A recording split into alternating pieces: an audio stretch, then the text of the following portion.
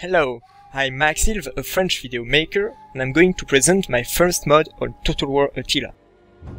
It's called More Realistic Attila's Warfare. It's based on my 5 years experience playing Total War series, from Medieval 2 to the most recent video games. With this mod, I want to allow commanders to use proper tactics and not simply spam cavalry on the battlefield. That is why combat system has been reworked. Melee is longer and looks more impressive. Units speed has been reduced, and now fatigue has a crucial impact on the battlefield. You have to keep in mind that an exhausted unit always requires a break, unless you take the risk to lose it. Yes, it's a difficult choice, as your front line still needs reinforcements.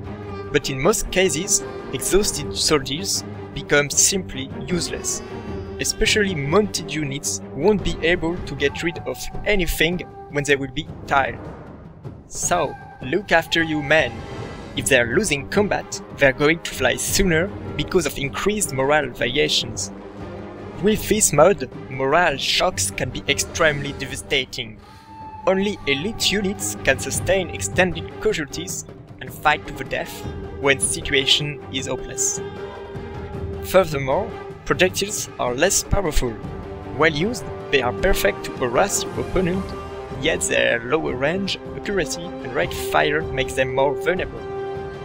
For example, Onagers are no more Napoleonic cannons, which were able to destroy entire units at 500 meters.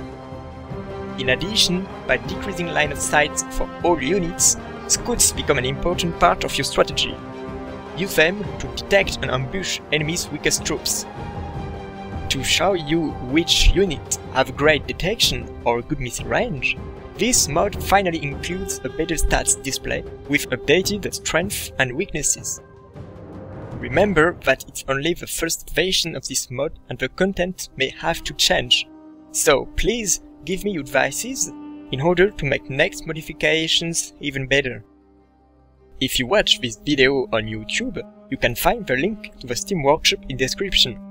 And if you want to watch in French a complete presentation of this mod, a link will appear on screen. I hope you've enjoyed. Have a nice day.